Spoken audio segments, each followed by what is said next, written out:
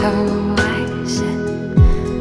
If we find that the world ends tomorrow, I would be content knowing that your lips were the last that I touched with.